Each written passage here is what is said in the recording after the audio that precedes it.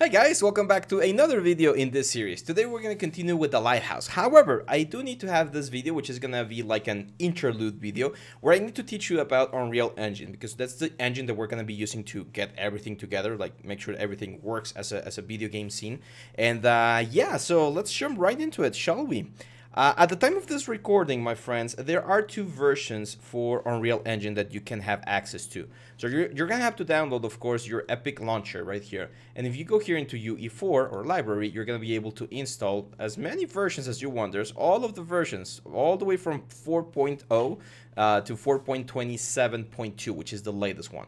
Um, you also have access. I think you need to go in, into the internet and, and, go for like this link that's gonna uh, install your uh, Unreal uh, Engine 5, which is the newest version. It's still on early, on early access, so it's not uh, recommended that you use it for uh, production to create your own video game because you might find some bugs or things that might not as expected. Uh, however, they do have promise or they have promised that if you work on 4.27, migrating later on on 5.0 will be a, a, an easy way to upgrade something, and you can also uh, work on 5.0 and then once a stable final release comes out, you're going to be able to just jump into that one. So I just double click or click there on launch and this is the window that we get, which is um, our basic like Windows setup. And what I'm going to do is I'm going to hit games right here and I'm going to create a third person game, which is going to be my base. Uh, the target platform is going to be desktop quality preset. I'm going to set to maximum. Uh, if you're going for like mobile and stuff, you can change this over here. Uh, I do want to have the starter content. I don't want to have ray tracing turned on uh, right now. I do think we can turn it on later on. And the reason I'm not going to turn it on is because I don't have a ray tracing card. Um, so yeah, where are we going to have this? I'm actually going to move it to our project. So let's go here to Nexttut live. There we go. And right here, I actually already have one uh, project. So I'm going to select this folder and let's call this project um, Lighthouse. Lighthouse Story or something, just to give it a little bit of a dramatic thing, right? So yeah, let's create this and it will create the project, it will create all the subfolders, everything, and the engine will launch. It usually takes a little bit to launch, especially if you have like a slow machine or, or not a lot of hard drive space. Um, I personally am running with a very limited hard drive right now. My main drive is uh, it's about to give up, but uh, yeah. So let's see if this uh, goes fast. If not, uh, we'll just wait. And while this is loading, let me open up Maya.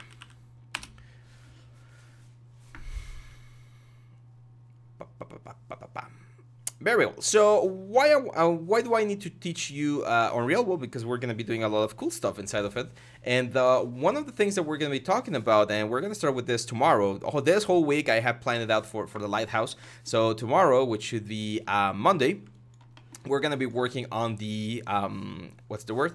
On the uh, textures, a lot of texture work. We're going to start with texture work, which is one of the main things that we're missing.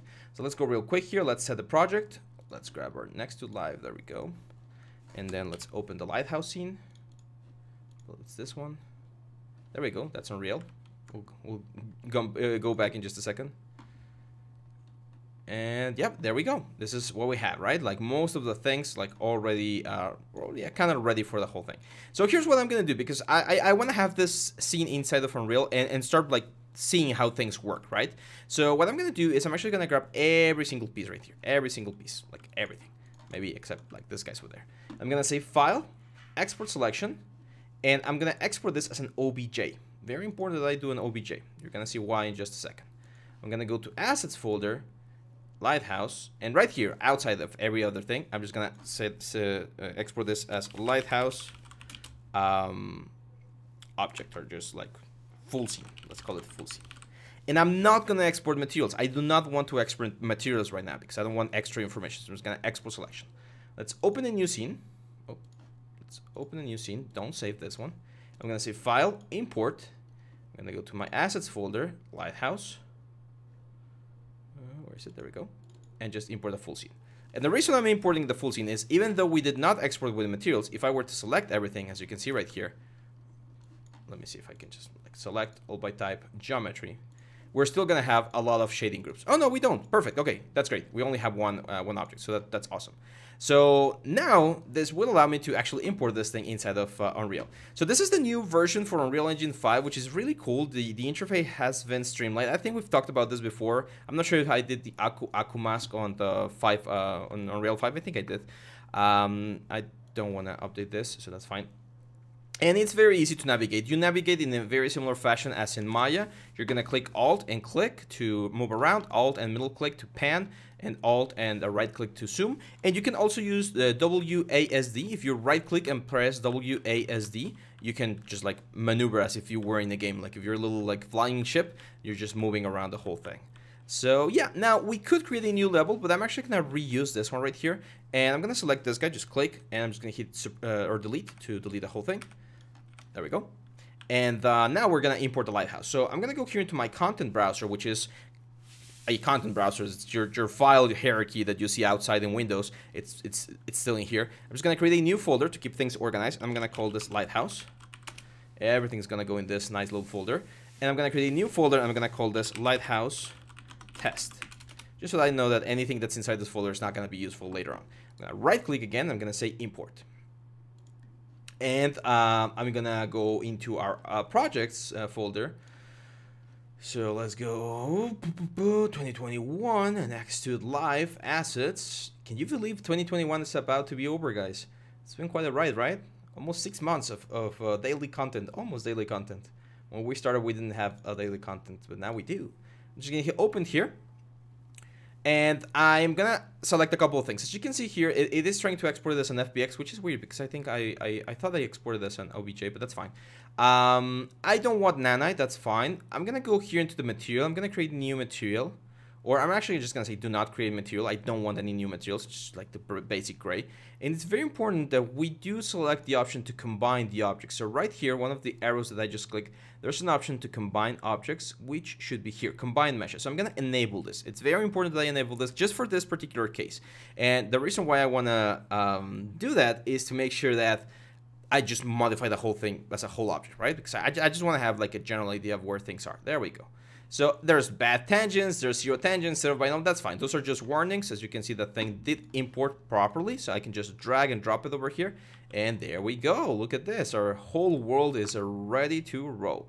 So I'm just to rotate this 90 degrees. And the reason the object came in uh, like with a bad rotation is because we uh, exported this as an OBJ and um, the coordinates inside of Unreal are different than the coordinates inside of Maya.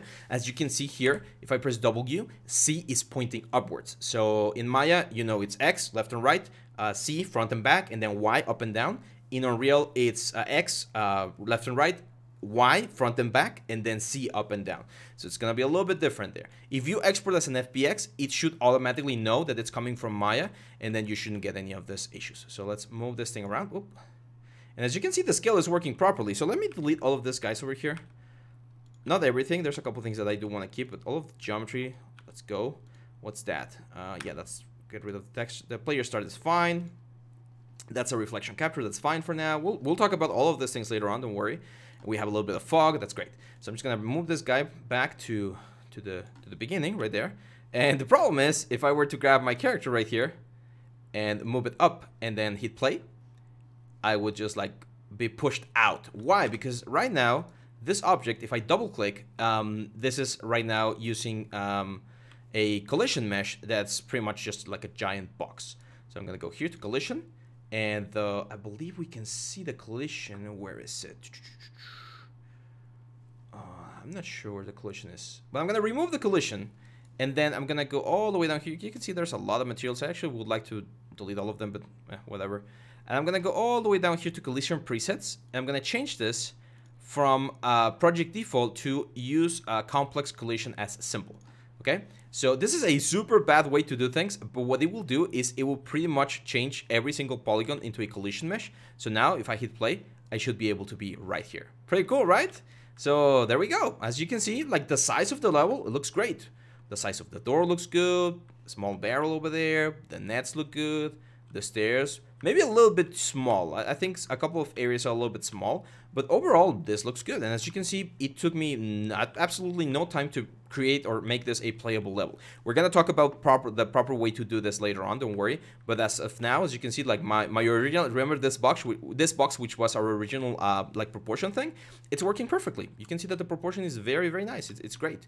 So yeah, I mean this is it. This is uh, the object right here inside of uh, inside of uh, Unreal. Now, let's do one, a couple more things, uh, that again, just like the basics of things. So, materials. Mater, mater, materials inside of um, inside of uh, Unreal can be accessed in two different ways. Right click here and just create a new material. I'm gonna rename this like M gray 50. So I know this is gonna be 50% gray. And if I double click, I'm gonna go into the material editor, which is very similar to a hypershade, right? This is the material node, this is my preview, settings over here, and I'm gonna be able to connect all sorts of maps over here. So I'm gonna press number three and click on the object or any place on the grid right here, and this will create something called a three vector, which is uh, an object, a, a, little node inside of Unreal that has three values, and we know that colors have three values, RGB. So we're gonna be able to change the values of this element to whatever we want. So let's go to like a 50% gray. So I'm just gonna say 0.5 here on the on the gray. Just hit OK, and drag and drop this into the base color. Now this sphere will be 50% gray. Another thing I want to do is I, I, don't want this thing to be shiny, so I want this to be matte, and, and that is driven by the specular uh, option, right? So I'm going to press a 1 and click, and this is going to create something called a float. So this is just a float value, a, a value that you can define as any number uh, imaginable, and uh, we're just going to plug this in into specular. So it's going to be a serious specular. And then I'm going to do another float, and I'm going to set this to 1. I'm going to set this roughness to 1. So now this object is completely matte, so it, it, reflects absolutely no light, and all of the light that gets hit, it's completely rough uh, on the object. So I'm just gonna hit save. This will compile the shader, and now, very easy, just drag and drop this on top of this guy right here. Now, the reason why this is not applying everywhere is, even though we did have only like a Lambert color, it actually remembers like the materials that it had uh, from Maya. So there's like material slots, as you can see right here. So I think what I can do is, if I select this guy right here, you can see all of this, right?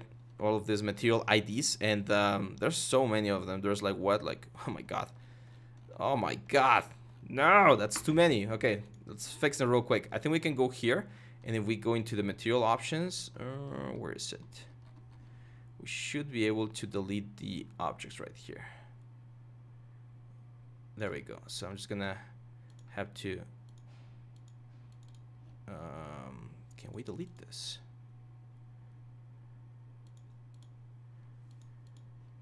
Or sometimes you need to have like an assigned material or something. 440 material slots? Oh my god, is that really what I'm doing here?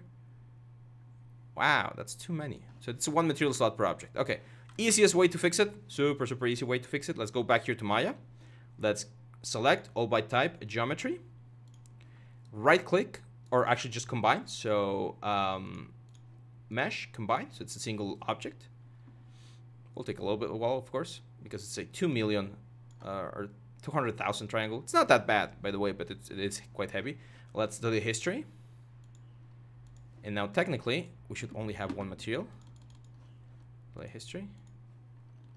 There we go. So yeah, you can see just Lambert 1. So grab this guy, file, export selection. Let's export it again here on the OBJ.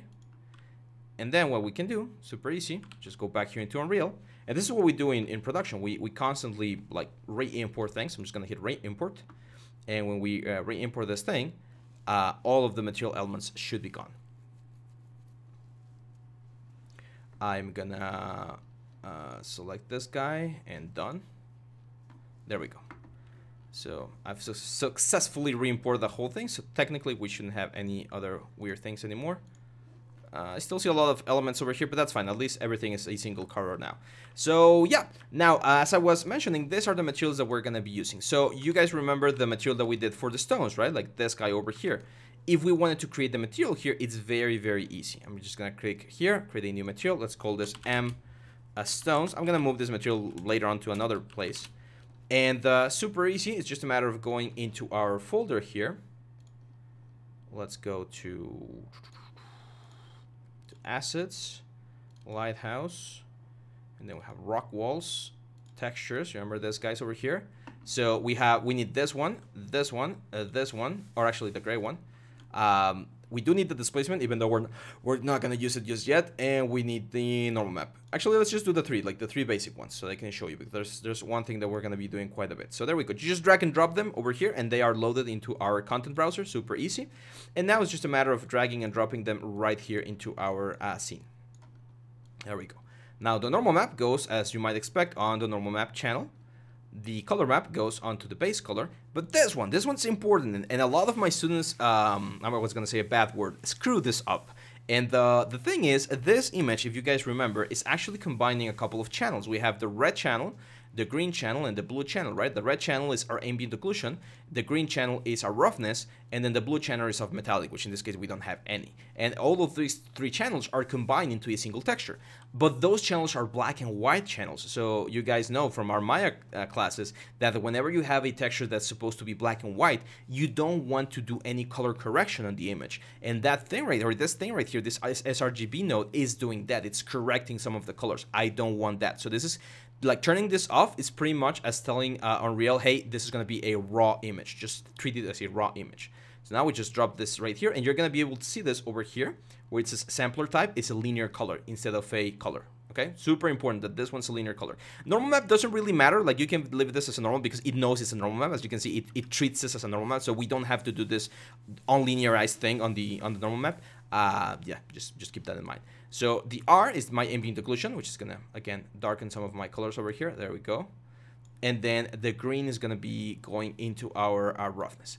Now, we have a problem. The problem is that the normal map, as you can see here, is looking inverted, right? It looks like the stones are coming like to the other side. And the reason why this is happening, we've mentioned this before in other videos, is this is a norm, uh, a OpenGL normal map. And OpenGL normal maps are uh, flipped compared to uh, DirectX. And uh, I think, I'm not sure if someone in the comments mentioned this or a friend of mine told me about this, but one of the reasons why some companies choose to do OpenGL or DirectX is if you want to use DirectX, you need to pay a license. And some people just want to save the license. In this case, Unreal did pay the license for DirectX. Um, or are they owned by Microsoft? I'm not sure. I think they are owned by Microsoft, aren't they? Can't remember. Anyway, so super simple fix. I'm just going to go here to the normal map and there's an option over here, which we can use to flip it. Where is it?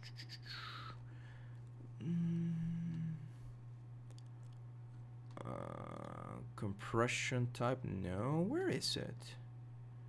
Is it here or maybe it was in this option? Uh -huh. Oh no, it's not. Okay, I think I think we can re-import this because when you import the texture, you can set tell this if this it's a if it's a normal map or like a normal normal or not a normal map. So let me grab this one right here. Let's force delete. And let's go back to our images right here. There's also a note that we can use, but I, I thought we had like a flip option. There's usually a flip option. Okay, it's not. It's not giving me the flip. I'm pretty sure it was over here. It is a world normal map. Uh, here we go, flip, flip green channel. That's the only thing we need to do, flip the green channel. And when we flip the green channel, now the uh, normal map will work as a DirectX normal map. So there we go. Because it, it, pretty much just changes that. And yeah, you can see here, looks pretty good, right? Uh, so yeah, this is this is pretty much the thing. We're gonna be doing a lot of texture work. Tomorrow we're gonna be talking about a very important topic, which is uh, material like combination. Like we want to paint the walls of the of the lighthouse, uh, and we want to have certain areas be brick and certain areas be other elements, but we don't want to have like one specific texture set for each one. So we're going to be using masks, we're going to be using some of the techniques that we saw for the cliff, and we're going to be using this build right here, okay? So if you're following along, probably not right now at the time of this recording, because I, am not sure if anyone is uh, like actually following video by video, but if you are, then congratulations. Uh, if you're watching this a long time in the future or later in the future, and you're following the steps, make sure you feel uh, like you understand how and why we're important things this way uh, because we're going to be doing a lot of this buildup, okay? So this was just a basic UI interface, basic uh, like material setup, and basic just like, uh, in this case, um, collision setup, okay? So now you can see that the characters, it's, it's working, everything's working nicely, everything is uh, it's flowing, and, and you can see that the proportions, the scale of the whole thing looks very, very nice. So eventually when we have the finished product, I think this thing is going to be amazing.